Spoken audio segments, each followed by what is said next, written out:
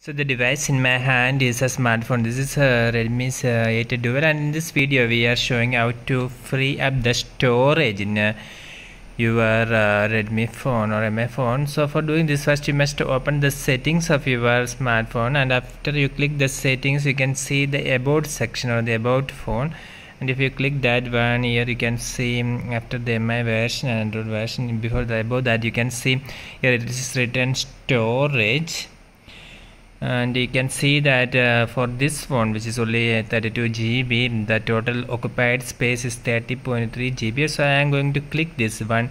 Now it shows an option like this free up storage.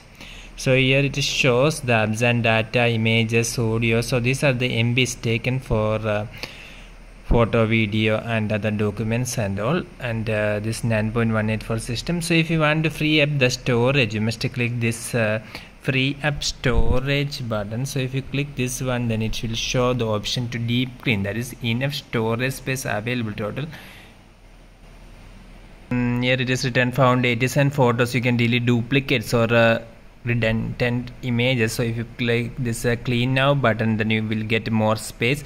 Like that apps um, the clean now for various options. You must press simply click this clean now if you did not want something. If you did not be, uh, want these videos you must uh, click this clean now button. Then you can see that um, uh, found uh, 492 unnecessary videos. You must click this uh, delete clean now button then it will be clean so you understood how to increase the size of uh, your storage in your MI smartphone.